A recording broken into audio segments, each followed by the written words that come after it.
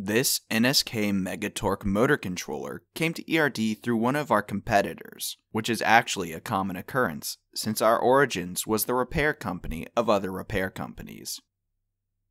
This driver needed a full rebuild, and as shown in the video, we tested it on one of our many Megatorque motors.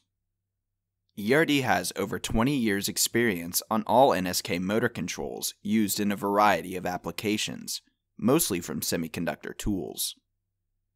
We not only perform repair on the drivers, but also have the capability to repair the actual motors for this series of products.